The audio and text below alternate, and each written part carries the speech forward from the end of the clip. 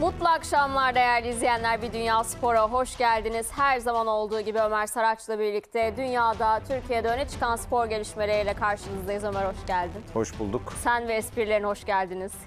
Ya- Yayına girmeden önce yine böyle bir espri bombardımanına tutulduk. Tabii izleyicilerimizin bundan haberi yok ama hoş geldiniz. Olsun mu? Sen ve esprilerin. İlla bir yerlerde olur herhalde. İlla yani. ki olur. Ben böyle şey canlı, dinamik değil mi? Tabii. Hani bir miktar uyku varsa bile böyle eser miktarda varsa bile onu da ortadan kaldırmaya yönelik Tabii girişimlerde şimdi saat bulunuyorum 20 programa yavaş yavaş girmeden e, önce. insanların yemeklerini yiyip doğru söylüyorsun. Aslında şekerin bir anda yükselebileceği e, dakikalar, saatler. Hani olur da bir ufak bir uyku kırıntısı varsa onu da gidermek adına yapıyorsun. Doğru. yani ondan dolayı bir de Çok haklısın. un helvası yedim ben ya bugün öyle bir hata yaptım. O da daha çok yükseltir şekeri. Tabii yani midemde çimento un, varmış gibi hem un hissediyorum hem şu şeker anda. bir arada tamamen şekere dönüşüyor. Ya biliyorsun. ö- öyle bir hata yapmışım ki çok nadir yaptığım hatalardan bir tanesi. Yani bugün gerçekten sen de benim hatalarımdan bir tanesinin şarkısını un helvasını atfederek programa başlayabiliriz. Evet o zaman e, ne yapalım? E, partnerlik bunu gerektirir. Ben de senin uykunu açmak adına e, girişimlerde bulunayım program boyunca. Öyle yapalım o zaman. Evet hemen programımıza başlarken Galatasaray'da teknik direktör Okan Buruk Bayern Münih maçı öncesi konuşuyor. Hemen izleyelim. Okan Buruk ve Barış Alper Yılmaz'ın Bayern Münih mücadelesi öncesi basın toplantısında yaptığı açıklamaları canlı olarak ekrana getirdik. Şimdiden bir gönülden başarılar dileyelim önce Ömer. Tabii ki. Tabii ki. Çok zor bir mücadele ama ilk maçı şöyle bir hatırlayacak olursak aslında her şeyde açık bir karşılaşma. 70 dakika çok ortada hatta Galatasaray'ın Evet. bariz Çok üstün net üstünlüğüyle. e, olduğu, fiziki olarak da üstün Evet. olduğu. Çünkü fiziki olmanın altını çizmek lazım. Çünkü biz yani yıllarca Avrupa'da hep fizik olarak maalesef ezilen noktadaydık ama 70 dakika boyunca Bayern Münih gibi bir takıma karşı çok acayip bir mücadele vardı. Ha yani maçın skoruna bakmak lazım. Tamam o çok ayrı. Ne olursa olsun yani önümüzdeki yıllarda ya da grubun e, işte son aşaması tamamlandığında kimse 70 dakika iyiydi demeyecek ya da 70 dakikalık E, bir tabii puan ki. birimi yok maçlarda. Ama Maçı izleyenler en azından hatırlayacaklar. Evet bu ya ama performans. öyle ya da böyle bir başkaldırıydı yani sonuçta Tabii ki karşılaştığınız takım Bayern Münih baktığında. Ee, şöyle olumlu bir nokta var hatta bayağı olumlu bir nokta var. Ee, Galatasaray yarın kaybetse bile ki Bayern Münih deplasmanında hani 2-3 takım ayıralım. Onlar dışında bu büyük bir sürpriz değil yani herkes için aslında Kesinlikle olağan bir öyle. senaryo baktığımızda. 2-3 takımın da başına gelebilecek bir durum bu arada. Tabii tabii zamanında Yani. zaten iyiyken işte Real'i ne bileyim Barcelona'yı hani he- ya Allianz Arena'da benim Evet. bildiğim herkesi ezdiler zamanında. Yani herhalde yenmedi büyük takım kalmamıştır Yoktur diye diye düşünüyorum. Yani düşünüyorum ben ye- yenmediyse karşılaşmamıştır muhtemelen. Kurada denk gelmemiştir diye tahmin ediyorum. Ee, ama ufak detaylarda hep yıllarca kaybettiler. Çünkü uzun zamandır e, Şampiyonlar Ligi kazanamıyorlar. Son kazandıkları Şampiyonlar Ligi Dortmund'u mağlup ettikleri sezon. Evet. Robben atmıştı yanlış hatırlamıyorsam eğer. Ondan sonra ya şöyle oluyordu. Mesela Real'i yeniyorlardı başka bir şeye takılıyorlardı ya da e, önemli bir takımı yani o yıl Barcelona daha iyisi örneğin Barcelona'yı eleyip Real böyle biraz daha sallantıdaysa bu sefer gelip ona takılıyorlardı. Evet, evet. Öyle bir durum vardı. Ama şu an tabii moralliler Bence onu söylemek lazım. Del Şimdi- çünkü 4-0 kazanınca Dortmund Doğru. karşısında. Ee, üçüncü lig takımına Saarbrücken'e Ya, 96-6'da elendiler. Evet, Ki Bayern tarihinde çok nadir olan şeylerden tabii. bir tanesi bu. Şimdi ona nasıl reaksiyon verecekleri önemliydi. Dortmund maçında Evet, o reaksiyonu evet. verdiler. Ee, maalesef yarın da o reaksiyonu vermek isteyebilirler, isteyeceklerdir. Ama yani dediğim gibi Bence Bayern Dortmund maçında o reaksiyonun verilmesi aslında iyi oldu. tam emin değilim. Bence iyi oldu. Şöyle çünkü ya Hani o Dortmund'u patlamayı yendikten orada sonra yaşadılar diye düşünüyorum. işte bu yani ikiye ayrılıyor konu burada. İyi oldu diyenler var, benim gibi kötü ben oldu iyi oldu diyenler var. diyenlerdenim. Çünkü hani Dortmund'u yendi. Bakın biz Bayern'iz. Biz bunu yapıyoruz. Hadi beyler kendimize geldik. Böyle devam edelim de diyebilirler. E tabii ki onu yani büyük Ya takım refleksi bu arada elbette Bayern bunu diyecek 10 yani. maç kaybederek Bayern'den de bu bahsediyoruz. maça gelse zaten Tabii ki. yani Bayern değil mi? Bayern'dir. Bayern Bayern'dir öyle ya da böyle. Ama Kesinlikle son öyle. yıllardaki e, bence en böyle ne olursa olsun güven vermeyen Bayern sezonlarından bir tanesini Doğru. geçiriyorlar. Onu söyleyelim. Savunmayı, orta sahayı çok eleştirilen bir Evet. Ve konumda şu Tuhel'le anda. birlikte o yapı çok tutmadı gibi Evet. sanki ki Tuhel işte Chelsea'de Şampiyonlar Ligi kazandı ama sonrasında işte yaşadığı sorunlar oyuncularla, buraya geldi yine oyuncularla yaşadığı sorunlar. Hani e, Tuhel'le de Bayern kimyası tam uyuştu mu Tam dersen em- uyuşmadı, emin değilim evet. o noktada. Ki e, Bayern işte geçen sezon hiç yapılmayan bir şey neredeyse Bayern tarihinde sezon ortasında e, hocayı gönderdiler. Yani onlar da aslında teknik adam Yeniden o e, Ee, güçlü Bayern'i noktasında yakalamayı bir anomali hedefliyorlar. yaşıyorlar. Evet. Ha şunu söyleyeyim. Dünyanın sonu değil yarın Galatasaray kaybederse. Yani böyle bir avantajı olacak. Galatasaray'ın. Ben hep şunu söyledim. Yarın 23'te ne kadar gözümüz kulağımız Münih'te olacak olsa da aynı zamanda e, büyük bir merakla da bence Kopenhag'da Kopenhag Tabii. United maçını takip edeceğiz öyle ya da Kesinlikle, böyle. Çünkü kesinlikle. oradan gelecek bir beraberlik Galatasaray Bayern'e mağlup olsa bile İstanbul'da bir sonraki fikstürde Galatasaray'ın Rams Park'ta Manchester yenmesi halinde Galatasaray'ı grupta bir üst seviyeye taşıyor. Doğru. İş bitiyor. Ya o yüzden yarın Galatasaray mağlup olsa bile ben diğer maçın berabere bitmesini çok önemsiyorum. Tek temennim var iki taraftan birinin kazanmaması. Ya ikisi de çok iyi senaryo değil. Ama illa birisi kazanacaksa ben Kopenhag'ın da çok kazanmasını istemem. Neden E, tabii. diyeceksin? Devreye girmesin yani. Şimdi.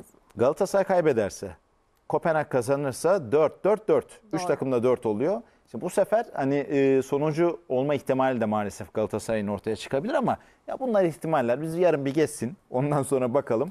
Ama e, işte Galatasaray taraftarının en azından şöyle bir rahatlığı var. Tabii ki Bayern deplasmanına gidiyorsan heyecan hissedersin, mutluluk hissedersin ama işte bizim gibi bizim şu an programda yaptığımız gibi böyle arkasına en azından yaslanabilecek bir rahatlığı var puan anlamında. Galatasaray United deplasmanında kazandı mı? Kazandı. Evet. Dolayısıyla e, Bayern Münih Almanya Kupası'ndan elendi mi? Elendi. Elendi. Yani bu tarz senaryolar zaten futbol bu yüzden güzel. Futbol her türlü sonuca, senaryoya açık olması dolayısıyla güzel ve keyifli. O yüzden her şey olabilir. E, yenilirse de dediğim gibi, e, senin de dediğin gibi bu bir e, son değil. Grupta Galatasaray'ın ciddi bir e, şansı var ve devam ediyor. Oynayacağı diğer maçlara da bağlı tabii ki. Ama neden bir beraberlik çıkmasın, neden bir galibiyetli çıkmasın ki. yani. Bu arada biz bu tarz e, konuşmaları yaparken hiç beraberlik gibi bir sonuç yokmuş gibi davranıyoruz ama e, beraberlik de Alır giderim. e, aynen öyle. Gerçekten. Beraberlik de çok önemli bir sonuç. Tamam belki de kazanacak Galatasaray değil mi? Elbette. Bilmiyoruz. Ama alır giderim beraberliği şu anda. Şu an yani Hiç yorulmam ya 90 dakika oynamam topumu.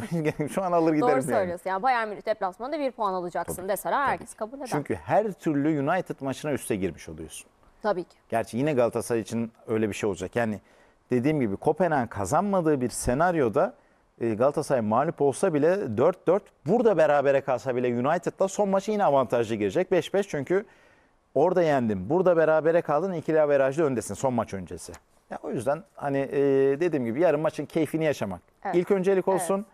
Puan da yanında olursa gerçekten tadından yenmez. Yani önümüzde bir köfte menüsü var. Yanında patates de puan olur diyeyim yani. Ama patates olmasa da işin köftesi güzel taraf bence. Güzel bağladın. Köfte patatesten gideyim dedim ki herkesin ortak noktasıdır diye düşündüm ama Evet. yanlış mı oldu? Yo estağfurullah. Hayır belki kö- Yo. yanlış derken köfteye alerjim vardır birden Yo, çok böyle severim. kızarıp ol- Hayır, hayır, olur çok mu olur severim. ben biraz Çok severim. o konuda şeyim şanssız bir adamım. Şimdi derim köfteye alerjin falan çıkar. Yok yok. Yok çok şükür çok severim. Hiçbir şey Se- alerjim yok. Sevmeyen çocuk var mı ya? Köfte mi? Ya köfte patates ikilisini. Zannetmiyorum. Yani hani sonradan vejetaryen, vegan olmaya Ya o karar verip ayrı. Çocuk hayatından olarak çıkaran var. söylüyorum mı? ben. Zannetmiyorum çocuklar arasında köfteyi sevmeyen. Yoksa vegan çocuk yoktur herhalde. Yok. Yani annesi tahmin- zorla vegan yapmadıysa tahmin ediyorum çocuğum yani. al brokoli falan demiyorsa zorla. Ki diyordur birçok anne ama. Olabilir. Olabilir. Yine sağlıklı yaşamanda bir şey demiyorum. Güzel E yani. tabii ki öyle ama köfte de sağlıklı bir şey bu arada. Son derece sağlıklı bir yiyecek. Yapıldığı şartlara bağlı. Tabii tabii yani evde annenizin yaptığı köfteyi rahatlıkla yiyebilirsiniz Tabii, diyelim. tabii. Öyle konuyu bağlayabiliriz Öyle en azından. Bu arada Barış Alper Yılmaz e, vardı Okan Buruk'un yanında. E, Şimdi bu tarz basın toplantılarında genelde çıkan e, futbolcunun e, kadroda olması, mücadelede e, forma giymesi beklenir. Bu E, da şeydir ya futbolun yazılı olmayan kurallarından Gibi. Hah, gibi. basın toplansın onu çıkardı. Evet, bakın onu oynatacak falan gibi, gibi. böyle. E, Barış Alper Yılmaz'ı e, göreceğimizi tahmin ediyoruz şu an itibarıyla. E, beni bu da heyecanlandırdı. Çünkü Barış Alper Yılmaz özellikle bu karşılaşmalarda, bu tarz karşılaşmalarda inisiyatif alabilen ve gerçekten iyi oynayan bir e, futbolcu. E, biraz bazen performansında dalgalanmalar olabiliyor ama gerçekten büyük maçlarda e, üst düzey bir performans sergiliyor. E, kanatlarda United son dönemde mesela girdi yine oyuna çok evet, etkili evet, Aynı oldu. şekilde. E, dolayısıyla e, ben açıkçası biraz heyecanlandım Barış Alper Yılmaz'ın e, basın toplantısında olduğunu görünce. Yani yarın kesinlikle Okan Hoca'nın kullanacağı oyunculardan birisi ama hani 11 mi olur sonradan mı olur bilmiyorum ama verim alacağı Evet, oyunculardan evet. birisi olacak diye düşünüyorum. Ya deminden beri e, hani akışta vardı şey ama ben bulamıyorum. Ar- arıyorum böyle fıtır fıtır fıtır bir şey arıyorum burada bulam- bulamadım ve hani bu kağıtların arasından seçmek zor oluyor. Arkadaşlarıma sorayım. Bayern Münih'in bir paylaşımı vardı. Daha önce hem Galatasaray'da oynayan hem de Bayern Münih'te oynayan e, oyuncu paylaşımları yapmıştı Bayern. E, varsa az sonra o da ekrana gelsin. Ben en azından Birazdan söyle, isteyelim. söylemiş olayım. Evet birazdan isteyelim. Şimdi e, biz istersen devam edelim Ömer. E, süremizi de verimli kullanmak adına. Şimdi Arda Güler bizim programımızın e, artık değişmez ismi. Ya şurada Şurada görünme- oturuyormuş görün- gibi. görünmeyen bir Bak, sandalye var. Aynı örneği verecektik ama orada Arda orada oturuyor. Gerçekten Arda burada oturuyor gibi hissediyorum. Her programda mutlaka Arda ile ilgili bir e, haberimiz oluyor. Olsun da bu arada olmamasından tabii ki çok Bak. çok daha güzel. Ben, yani benim gibi birçok arkadaşım var. Pazartesi günü hatta işte o gün yayına gelen konuklarla da birçoğuyla şöyle bir sohbet yaptık. Ya Arda oyuna girecek diye ben zaten genelde izlemeye çalışıyorum ama bütün bir Real Madrid maçını izledim diyen hem benim etrafımda çok insan Öyle. var hem bize gelen mesajlarda çok var. Yani ya insanlar gerçekten Arda e, Güler oyuna girecek diye belki girer diye bu arada yani girer dedi Ancelotti'de 5-10 dakika bekleniyordu eğer fark olsaydı. O 5-10 dakika için 90 dakikanın tamamını izleyen e, bir oyuncu değişikliği olduğu zaman heyecanlanan acaba Arda mı girer diye e, Evet. düşünen böyle e, bir kesim vardı.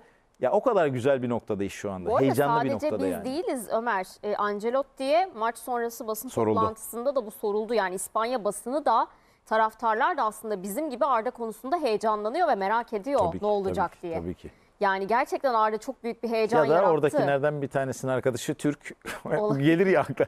Ya Sor. abi bizim şu Arda'yı bir sor. Yok yok zaten soruluyor Yok, o işin zaten sor- latifesi. Ancelotti de yakın zamanda e, Arda'nın artık sahaya çıkacağını Şöyle de söyledi. söyledi. Daha genişini ben söyleyeyim. Yani dedi ki Arda'yı hani 0-0'da oyunu alıp e, onu kazanma durumuna zorlamak sakatlık dönüşü bir oyuncu için ideal olmayabilirdi dedi. Evet. Ya muhtemelen 2-0 Çok olsaydı yüksek bir ikili mücadele 3-0 vardı olsaydı- sahada ve Arda'ya çok uygun olmayabilirdi bu durum. 2-3 fark Evet, olsaydı alacaktı. Evet, evet. Şeyi bekleyeceğiz artık bundan sonra. Real bir maçta iki fark atsın.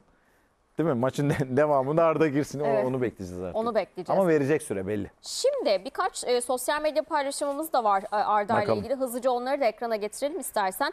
E, ilk olarak Arda'nın kendi e, paylaşımına bir göz atalım. E, Gençler Birliği'nden Real Madrid'e uzanan bir hikayeden e, bahsediyoruz değerli izleyenler. Son zamanlarda sosyal medyada çok popüler oldu bu. Böyle e, büyüttükçe illüstrasyonun e, daha da Değiştiği. değiştiği çok güzel, çok keyifli paylaşımlar. Arda da onlardan birini paylaştı bir bakalım. Bu olayı ben yıllardır görüyorum böyle sosyal medyada illüstrasyonların bu şekilde paylaşılması. Gerçekten çok güzel bir paylaşım bir kere. Kim yaptıysa bilmiyorum kimin yaptığını eline sağlık e, demek Çok lazım. güzel çok, düşünülmüş. güzel. Çok güzel, Güzel, düşünülmüş. düşünülmüş ve insanı izlediği şeyin hep içinde tutan. Evet. Yani hep merakla bir bekliyorsun. Bir sonraki aşama diye. ne olacak diye. Yani her bir geçiş bir dizi sonu sahnesi Evet, gibi. evet. Ve bu Ee, gerçekten kurgu çok güzel, çok güzel. bir başarı hikayesi. Onu da ayrıca söylemek Keşke lazım. oynasaydı. Gördük ya maçı da paylaşmış. Maç paylaşımını o şekilde Evet, evet. yapmış. Ama mesela Fenerbahçe'den e, Real Madrid'e geçişi çok başarılı buldum. Yani Evet, izlediğimiz evet. animasyonda kupayı kaldırıyor. Kupasıyla beraber. Gözünde Real Madrid'in kupaları var. O şekil bir geçiş Evet. yapmışlar. Yani çok da zekice ve böyle Çok, keyifli bir geçiş olmuş. Çok güzel olmuş. Çok güzel bir e, paylaşım. Şimdi bir başka e, yine sosyal medya paylaşımı e, Arda ile ilgili Vincenzo Montella değerli izleyenler, A milli takım teknik direktörü e, Real Madrid idmanına gitti ve Carlo Ancelotti'den e, Arda ile ilgili bizzat bilgi aldı. Antrenmanı izledi. Onu da bir izleyelim. Montella gerçekten e, bu arada ben e, hafta sonu kendisiyle bir e, röportaj yapma so- söyleşi Sen daha de bir arada gelme- şansını buldun. e, fırsatı da buldum. Çok da keyifli bir sohbetti. E, şunu çok net bir şekilde anladım ki zaten e, takımın başında çıktığı iki karşılaşmada da çok net gördük. Gerçekten bütün oyuncuları çok yakından takip etmeye çalışan bir teknik direktörümüz var. Bu çok kıymetli Ömer. Yani her maçı yerinde takip etmeye çalışıyor. Her oyuncuyla birebir ilgileniyor. E, şimdi Arda'yı da e, bizzat antrenmanda izlemesi, teknik direktöründen e, bilgi alması e, çok önemli, çok kıymetli. Çünkü Arda da milli takımımız için gerçekten pamuklara sarıp sarmalayacağımız çok çok önemli bir e, değerimiz, çok kıymetli. E, o yüzden Bence Ya çok şimdi büyük iş bu da. şöyle bir şey var maalesef. Ee, yani ülkemizde çalışan teknik adamların milli takımda özellikle yabancıysa gelip maç izlemesi aslında haber değeri taşımamalı çünkü işi o. Yani İşi bu, evet, nasıl bir şey doğru. biliyor musun? Biz geldik program sunduk ama bizim işimiz zaten program Evet, sunmak evet, yani. doğru. Bunun gibi bir şey. Ama, Ama, işte görmeyince veya bunu daha az Şöyle. yapıldığını görünce bu kıymetli hale geliyor. arzusu da önemli. Mesela Montella Beşiktaş maçına geldi geçtiğimiz gün Gaziantep maçı galiba saat e, yok Gaziantep'te unuttum şimdi fikstürü ama e, ya İstanbul Spor maçı ya Beşiktaş'ın Kayseri Spor maçı. iki maçtan bir tanesi olması lazım. Çünkü 16'da Beşiktaş'ın maçı vardı. 19'da Fenerbahçe'nin galiba Hatay Spor maçı vardı. Tam emin değilim. Ama önce Beşiktaş sonra Fenerbahçe maçlarına yani Beşiktaş'tan çıktı. Kadıköy'e gitti. Şu anda biz kendimiz araç kullanmayacak olsak bile ki Montella da kullanmıyordur. Onu da bırakan bir araç Evet. vardır ama ona rağmen çoğu insanın üşeneceği İstanbul trafiğinde pazar akşamı bir Kesinlikle, rota. kesinlikle Onu söyleyeyim öyle. öncelikle. Yani maça Beşiktaş'a gitti. Oradan Kadıköy'e gitti. Maçları izledi. İşte Madrid'e gitti. Oyuncularla konuştu. Ancelotti ile konuştu. Yani şey önemli. Bunlar evet işiniz yapmanız gereken şeyler ama bunu karşı tarafa severek, karşı tarafa değer verdiğini de göstererek yaptığın Kesinlikle. noktada o değerinde karşılığı sana dönüyor. Kesinlikle. Yani Montella da aynı şekilde Arda'nın e, gelişimini bizim gibi buradan takip edebilirdi. Ya da Gitmeden arardı. Nasılsın, arardı, iyi misin? sorardı. Olabilir tabii. Ancelotti'nin yaptığı açıklamaları Montella da izleyebilirdi ve oradan bir e, fikir sahibi olabilirdi. Ama bunun yerine gitmek, görmek, o antrenmanın içinde olmak, oyuncuyla Hatta birebir temasta olmak. Bugün mü bunlar çok okudum, önemli. dün mü okudum? Artık o kadar çok şey okuyunca karışıyor tabii. Ee, Çağlar'la Mehri'nin de maçlarını yerinde Evet, evet, izleyecek evet, diye evet, bir Evet. sanıyorum haber vardı. Ya da Sayın Mehmet Büyükekşi'nin basın toplantısında öne çıkan bir söz vardı öyle hatırlıyorum. Ama yani e, belli ki biz e, Montella'yı sürekli tribünlerde göreceğiz. Yani ya milli takım maçında kenarda göreceğiz ya da onun Doğru, dışında doğru. tribünlerde göreceğiz. Kesinlikle öyle. Oyuncusuna değer veren bir teknik adam önemli. Şimdi az önce arkadaşlarımızdan bir Bayern Münih paylaşımı rica etmiştik Ömer. Ee, Evet. Zannediyorum o hazırmış. Bir görelim onu da Bakalım hemen. ya keyifli paylaşım Evet. olmuş o. Bu tarz işler e, hoşuma gidiyor. İşte iki kulüpte, de Kulüpte oynayan de oynayan isimler. oyuncular Ribery, Podolski ve Hamit Altıntop. Evet. Güzel. Güzel. Güzel paylaşım. Bunun Yalnız- Bayern Münih tarafından e, yapılmış olması da bence mi? ayrıca kıymetli. Kesin, kesin öyle. E, yani bu arada Ribery de, Podolski de, Hamit de aynı zamanda Galatasaray tarihinde de yani bu üç ismin şöyle bir ortak noktası var. Hani sadece iki takımda da oynamaları ortak nokta değil. Her iki takımda da bu üçe, e, üçer ismin iyi performansları var. İz bırakmış olmaları evet. Hem Galatasaray'da hem Bayern tarafında. Doğru. Bu anlamda önemli. Yoksa tabii altyapılarda da hem Bayern'de hem Galatasaray'da oynamış isimler var benim bildiğim kadarıyla ama hani bu isimler çok ön plana çıkıyor. Ya bir de Hamit Altıntop'u görünce ben hep aklıma yıllardır o örnek geliyor. Hatırlar mısın? Hamit de değil. Halil Altın e, Halil Ant e, söyleyeyim. Alt Halil Altıntop iki L birleşiyor ya böyle akşam da olunca. Halil Altıntop. Halil Altıntop çıkmadı bir türlü. Halil Altıntop'la bir gazetecinin e, diyaloğu vardı. Otobüsten iniyorlar. O meşhur videoyu hatırlıyor musun bilmiyorum. Ya gazeteci diyor ki işte abi diyor ben eğer yanlış hatırlamıyorsam Hamit diyor nasılsın diyor ben diyor bilmem ne gazetesinden bilmem ne bilmem ne bilmem ne anlatıyor anlatıyor. Beni hatırladın mı diyor. Ya bir bir kere böyle bir soru bir oyuncu için zor.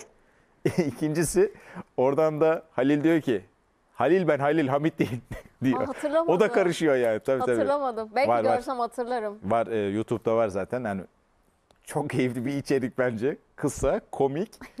E, o yüzden hani Hamit Altıntop denildiği noktada Halil'le ilgili böyle bütün anılar benim aklıma geliyor. Çünkü o dönem herkes karıştırdı. Evet.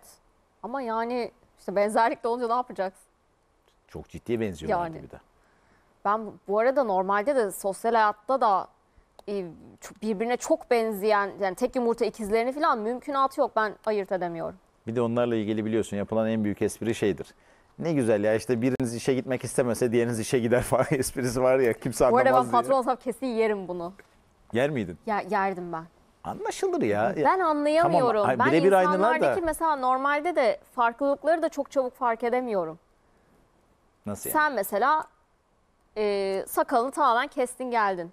Ben şöyle düşünüyorum. Bir değişiklik var. Ama ne? Ama ne? Onu bulamıyorum. Demek ki çok böyle dominant bir değişiklik dikkat- olması lazım. Evet çok radikal bir şey olması lazım. Ya da insanlara çok dikkatli mi bakmıyorum acaba? O da olabilir. Olabilir. Olabilir. Olabilir. Ama Ve kendime bir ikizler sorgulayayım şey ben. oluyor ya. Yayından sonra. Tamam hani görü, yani görüntü olarak ayırmak gerçekten zor. Ama hani davranış ve sohbet olarak evet, evet, ayrılıyorlar orada yani. ayrılabilir. Doğru. Ama gördüğüm ay fotoğraftan ayırt edemiyorum çok Yok fazla. canım, onu- Anlamıyorum yani hangisi olduğunu. Onu bence aynı takımda oynarken galiba Schalke'de beraber oynuyorlardı. Yanlış hatır. Hoca da bence idmanda ayırt edemiyordur yani. Bence de öyle. Ya, ya da işte biri farklı krampon falan giyiyordur. Öyledir o iş olabilir. yani. Olabilir. Peki şöyle biraz atlaya atlaya gidelim, Gidelim, istersen yine. gidelim. Ee, ş- Messi. Ya bak ne yaptı biliyor Messi'siz musun? Ben Bak önümde iki programı tane kağıt kapatmam. var. Bak aynen bak aldım iki kağıdı. Messi'yi gördüm. Şunu kenara ayırdım. O kadar iyi biliyorum ki hangi durakta duracağını. evet. Messi'yi gördüm. Messi Dedim ki Ezgi burada dururum, durur. Lütfen. Ballon d'Or ödülünü son kez aldı. Bence hak ederek Son aldı. kez Çok mi? ta e, son kez artık. Niye Dünya Kupası'nda oynayacak işte muhtemelen. Oynayabilirim diyor. Ama artık Ya bence de son kez son de. kez kendisi Bak, söyledi artık son Messi kez ile aldım diye. Ronaldo biz bıraktık demeden bence hala her şeyin imkanı var. Var. Ama çok zor artık. Yani. Çünkü yani şunda bile bu kadar tartışma çıktıysa bir kere daha verirlerse Lionel Messi'ye ayaklanma çıkar diye tahmin ediyorum. Bu arada bu bence yani bu bence bu bu arada verilen hak en zor bir. ödüllerden birisi. İşte Tam emin değilim, şöyle emin değilim. Bir tarafım hak edilmiş diyor. Ya adam Dünya Kupası kazandı. Ve Ya üzerinde çok büyük kaleciye de baskı Dünya vardı. Kupası için verdiniz. Hı? Kaleciye de Dünya Kupası performansıyla Martinez verildi. mi? Evet. Aca- hafta sonu acayip kötü gol yedi. yani o ödül, yani ödül ona hiç yaramadı. performansıyla verilmedi sonuçta. Tamam ama şunu demeye çalışıyorum. Şimdi bir tarafım evet bu adam Dünya Kupası kazandı ve üzerinde çok büyük bir baskı varken belki de kimsenin yaşamadığı bir baskı varken kazandı. Bu tamam. Hani bu tarafı tamam. Bu arada bak görüntülerde de e, Ballon d'Or'unu Inter Inter, Miami'ye- Miami altyapı oyuncularına götürüyor. akademisine götürüyor. Ama diğer tarafta da işte Haaland da mesela acayip goller attı ve Şampiyonlar Ligi kazandı ve bu sezonsal bir ödül. Bir şey Mesela söyleyeceğim. Messi'nin Messi'nin e, MLS'e gittikten sonra neredeyse 6 ayı yok. Yok yani bir saçma sapan birkaç Evet. tane gol. Saçma sapan diyorum çünkü kimse markaj yapmadı, savunmadı yani. E yapsalardı. Ya o Yani. ayrı. Ligin kalitesi anlamında da bize bir şey sunmuyor çok fazla Hayır maalesef. bak yani. doğru ama şunu söyleyeceğim. Şimdi Messi yıllarca Şampiyonlar Ligi ve kulüp performansıyla Ballon d'Or aldığında Evet. ne dediler? Dünya Kupası yok. Niye alıyor? Dünya Kupası alan adamlara niye vermediniz Xavi Iniesta Tamam. örneğinde? Doğru Tamam, mu? doğru. Adam Dünya Kupası'nı aldı. E Şampiyonlar Ligi'nde hiçbir şey yapmadı. Niye verdiniz? Yani sence bu biraz e, tırnak içinde iki yüzlü bir Şampiyonlar Ligi'nde hareket hiçbir değil şey mi? yapmadı demiyorum. O zaman City'de Şampiyonlar Ligi alamıyordu. Erling Haaland da Şampiyonlar Ligi aldı. Hadi E, buyur. Tamam işte yani diyorum ya bu birazcık hani Şampiyonlar Ligi Dünya Kupası diye hani Şampiyonlar Ligi'nde yaptı Dünya Kupası'nda yapamadı diye eleştirildi. Dünya Kupası yaptı Şampiyonlar Ligi'nde yapamadı diye eleştirildi. Yani Messi niye ödül aldı diyen bir güruh Değil. Ama oluştu şunu sorayım gibi bak. bir durum Güzel yani. tartışma konusu. Bence bunun cevabı hiçbir zaman için net değil. Çünkü öznel bir cevap bu. Evet. Onu bilmekle birlikte şunu soracağım. Yani fikrini merak ediyorum. Az çok ne diyeceğini biliyorum o ayrı da. Tarafsız bakamayacağını biliyorum bu konuda. Ya son derece tarafsız tabii bakıyorum. tabii kesinlikle. Bir Tabii, Guardiola tabii. biliyorsun. İki haberi Messi- geçip hemen Messi haberine gelmem bile son derece Bak, tarafsız Messi olduğunu kanıtlıyor bir Guardiola bence. çok tarafsızdır biliyorsun bir de ben. Tabii. Ha, Guardiola da gerçekten Guardiola öyle da ya. çok tarafsızdır. Ee, Dünya Kupası mı daha zor sence kazanmak yoksa Şampiyonlar Ligi'ni mi?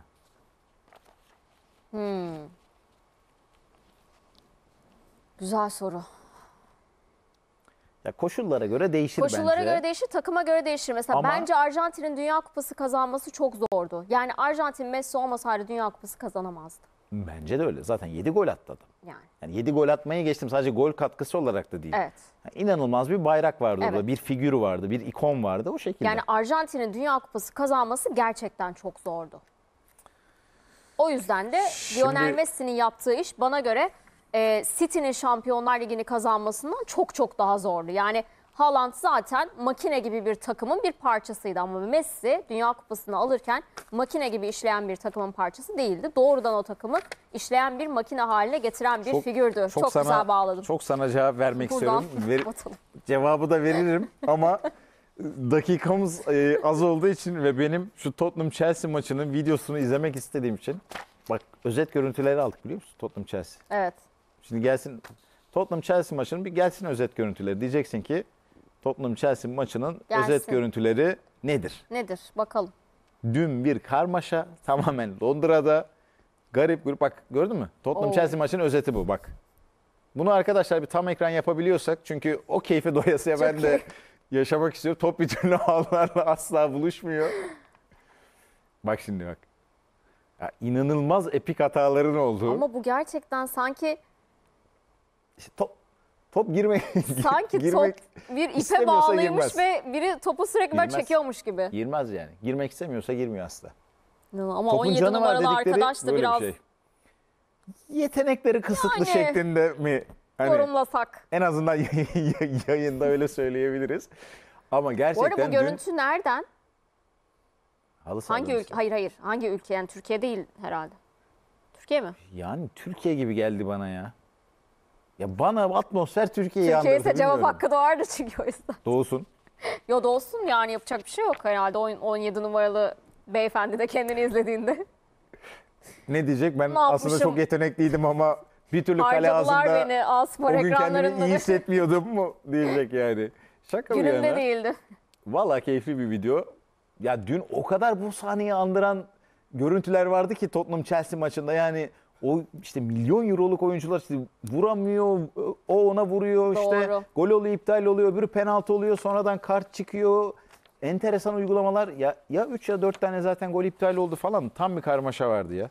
Beşiktaş Dinamo Kiev karambolünden sonra maçın tamamının karambol olduğu bir maç yani. Evet.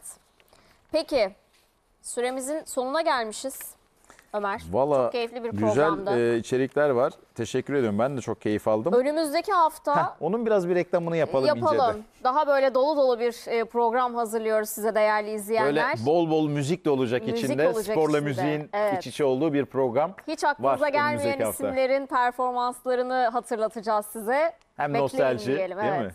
Peki. Teşekkür ediyorum. Ben teşekkür Ağzına ediyorum. sağlık. Ağzına sağlık. Teşekkür Bir Dünya Spor noktalıyoruz değerli izleyenler. Hoşçakalın. Hoşçakalın.